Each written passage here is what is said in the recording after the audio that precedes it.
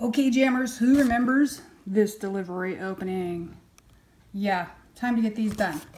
As well, I was sneaky, and I know you've seen on the thumbnail picture, so you know what it is. Who remembers this delivery package from so long ago that I wanted to complete? To have a dollhouse within a dollhouse, and we're going to put it in the cottage.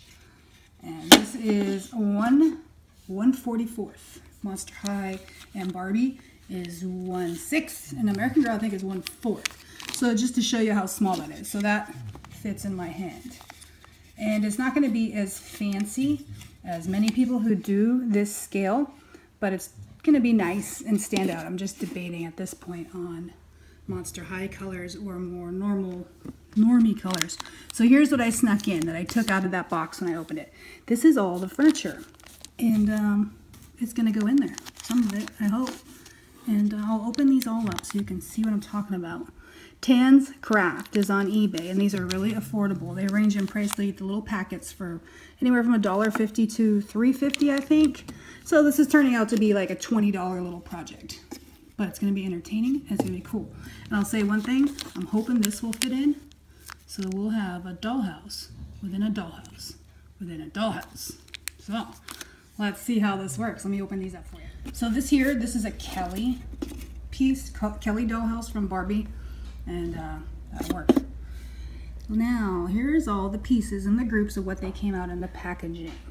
I want to give a big shout out to Tan's Craft and check them out. Just punch in their, they got thousands of entries. Just punch in in their search bar metal miniatures and they have so many there's even different versions of each bedroom and everything like that if you do it or other stuff for one six some of the stuff works too i've used them a lot but my little packet came with two sinks. And i called and immediately she sent me another toilet or a toilet. So i got the full set. Excellent excellent service. Okay next we have a little sewing machine. A mold body mold chair. That's a set. Here's the bedroom set. That's a little light. I should use a pencil here. That's an overhead mirror for over the something, the dresser, a chair, night stool. This I got separate. I'll explain. Here's my hopefully dollhouse within a dollhouse. Kitchen. There's a couple choices for that. I, I think this will fit best. I'm hoping this will all fit in here. Here's the living room. That's a little um, side light. My museum wax is going to come in very handy for this. Check out our video for how to use it if you're interested. It is amazing for dollhouse stuff. This is the dining room. This is a roll top desk. A fireplace. The only thing they have that was somewhat that could be like a person in their Dollhouses like in 112 don't tend to have a doll. So I thought that would that'll work. Some little brooms, some stand-up lights, and a TV. So that's hopefully all gonna fit in here. If not, oh well, I'll try. So the chairs, I'm gonna swip swap and I'm gonna put one for that. That's why I bought the set. And then the dining room only came with one captain's chair and two little chairs. And usually you have four. So over here, I'm gonna switch. This one came with that. So I'm gonna have that over here. So we'll have three regular and one captain's chair. And there might be some other swip and swap. And yeah, I think that mirror I'm going to put over the fireplace if it fits. And um, that might be it for changes. I don't know if that's going to fit, but it's worth a try. Okay, well, first things first. Prime. Spray primer. Best stuff. And that's usually what I do. So the paint, we go through all this effort, the paint will stick. And I'm going to do that too. So let me get that priming. Here's a quick review of all the other ones I'm doing at the same time from that Metals um, Miniatures delivery package opening. You can check that out to see these one by one if you're interested. And here's my finger so you can see the sizing for these. So I got these in here and I'm going to set them all up. So after my primer in my cart, lots of paint. That's basically the gist of this here project. All right, let me get them set up for spray. Primer. Yeah.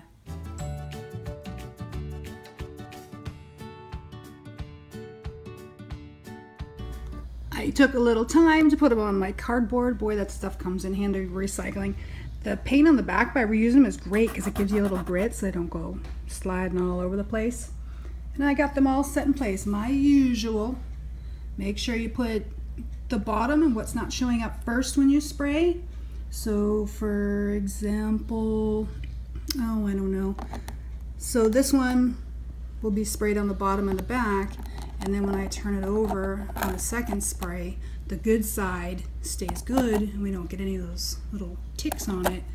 And um, I've kept the little things, these got pretty much weight so I don't have to tape them down. But the ones that might blow away with the spray paint, I've put in the front. And um, at least if they go flying, they'll stay on here and not fall on the dusty garage floor. And they're all ready for the first coat. And, um, ooh, I am so glad to get this project off my plate. Have I said that? so I've begun to, begun to spray, and um, I got it safely in the garage. For those of you who follow on Instagram and seen our story about the fan, see I was spraying the fan blades over there, and he ran them over. So we have it safely over here, so it doesn't get run over. Nothing special about spray paint. Um, stay at least 12 inches away, maybe even a little farther with these. This stuff's thick doesn't drip as much as regular spray paint, but uh, just kind of go like that. Doesn't need a whole lot because these aren't going to be handled like crazy. Just to break the metal, give the acrylic paint, oh nice, those didn't fly away. Give the acrylic paint something to bond to. That's how I do real chairs on my wicker. Same way. Good tip. So I'll just go around every little way I can get this way. Wait for that to dry. And uh, we'll do the second coat. And that right there actually sums it up for this spray painting session. Um, yeah, oh. Okay. Takes only an hour to dry. Gotta love that stuff. Everything has dried from the primer and now I've begun painting. Some simple tips. Tips. Spectacles. Must have. Coffee. To keep me all nice and bug-eyed so I can see these things. Um, mostly I just uh, paint what's predominant in color and then go back later and paint the details. Many different ways here.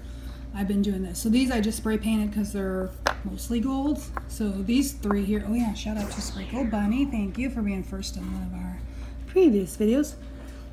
Excuse me. I love her crafts, by the way. You should see her ever after high beds. Gorgeous. So these ones are done. Rosabella, Blondie, done.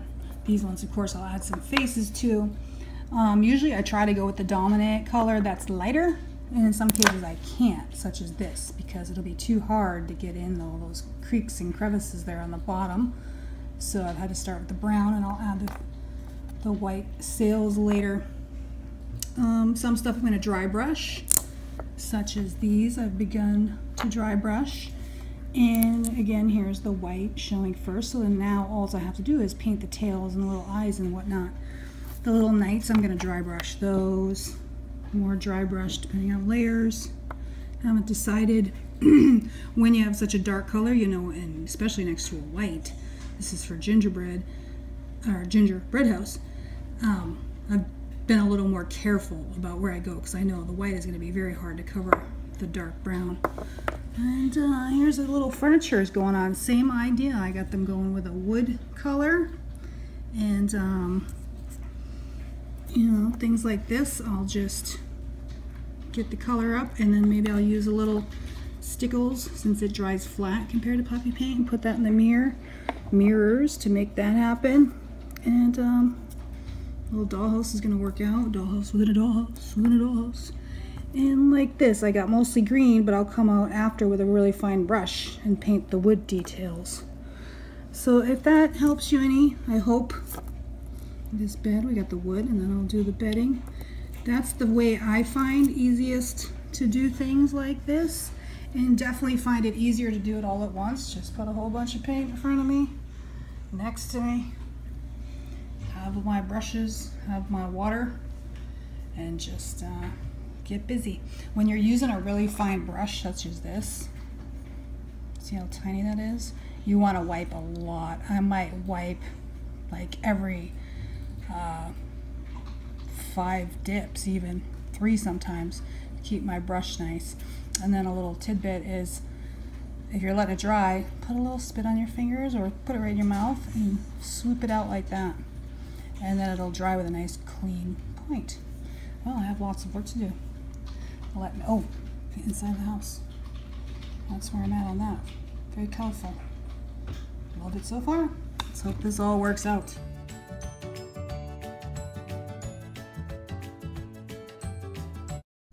Oh, what a mess that was. Boy, did I ever scream. And uh, here I am beginning to do the second coat, having already done that first most predominant color. And then you can see where I start to put in my second, third, or fourth colors in some cases. And um, I think it gives you the idea of how I do them. And then they're a whole lot less intimidating. They don't seem so scary, really. Although a magnifying glass maybe might have helped. So sometimes I'll use a little Sharpie, as I did with this red one on the little dollhouse window and door trims. And um, that'll just detail it out. I can't paint that small. It's just not me. Same thing. Do it on the house. And, um, excuse me, started off with my walls and then though my outer walls layer and I'm just going to continue to layer so you're not matching one paint line up to a second paint line. I think a lot of people think that, and that's not the case. And this is the same way I used to paint real houses. So it's just much easier when I'm doing such a smaller thing. And uh, at this point, I'm so excited because it's been a while since I've had this dollhouse and I finally get to do it and finish it. And here, uh, yeah, I show with my brush how uh, I do that so you don't have to be so perfect on your first coat. Sorry for the overdub, but the fam was watching TV while I was doing this, as is the usual in this house. There's no doubt the devil is in the details when it comes to doing a dollhouse. Got some nice accessories for Monster High and Ever After High, and I am sitting here with a really sore back. but a very pleased Mama Jammer. Um, here's how they all look. Some are still a little bit wet. When it came to the clocks and maybe certain things I wanted shiny, like the little dollhouse, I used nail polish, both shiny and they have a matte if you need that. And in the mirrors, I also use that to give it a little more. Um, this is a very relaxing job for me, so I enjoyed it. Um, I think you can see where some of these are going. This turned out beautifully. Looks kind of like the Disney castle. So some more look like figurines. Some look like wood. That will all be for um, cedar. So it looked like she carved those out. And then the little cuckoo clock. Some things were simple to do, like that one came through really, really easy. Um, probably didn't need that, but oh well. Of love putting that in Michelle's room. Lots of bunnies for guess who? This, I forgot to tell you that when you use Sharpie and then put nail polish on it, it does run. Luckily, this is so tiny, it just doesn't matter. That's me. That's Mama Jammer right there. and uh, here's the rest of the pieces. I will put these all into the dollhouse. I have a feeling I'm going to have to glue some of these and the museum wax not going to work because they're just too small. I'm not looking forward to that, but I'm looking forward to the results. There you have it, everybody. Oh, the house. The house. Again, I almost forgot the house. Lots of detail intricate in there. Enough just to make it look like someone cared. Oh, I got to fix up that one wall right there. Oh no, the bathtub will be in front of it. It'll be fine. I'm not going to show the door on this side. Instead, I made a picture on the wall. Very happy with it. I'll put it together. I hope you've enjoyed this video journal and got some tips that might help you in your painting ventures. Have a wonderful evening. See you next time.